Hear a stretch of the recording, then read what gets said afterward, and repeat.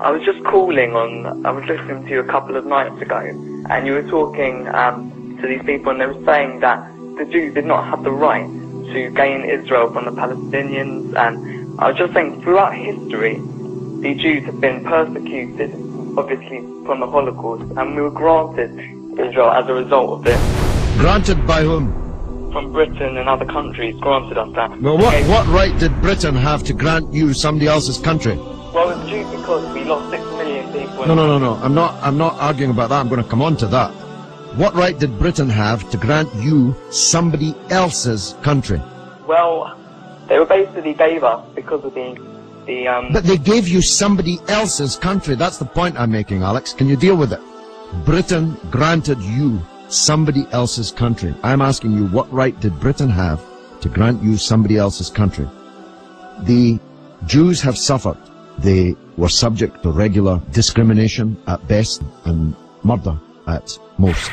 The one place in the entire world that Jews were neither discriminated against nor subject to pogrom was the Muslim world. That's why, under the protection of the Muslims, the Jews left Europe.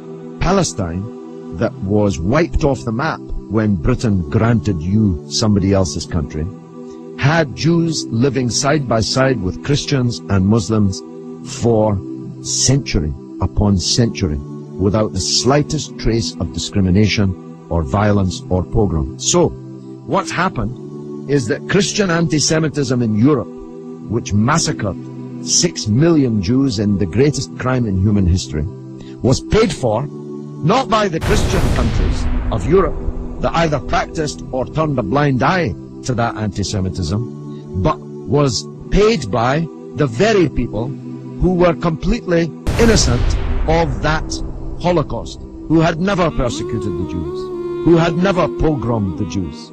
And that seems to me to add insult to the injury suffered by a people whose country was wiped off the map, who were uh, dispersed into exile to make way for a Zionist idea which was granted to European Jews by Britain, that Britain had no right to give away somebody else's country. It seems to me an all-round injustice, don't you think, Alex? Yeah.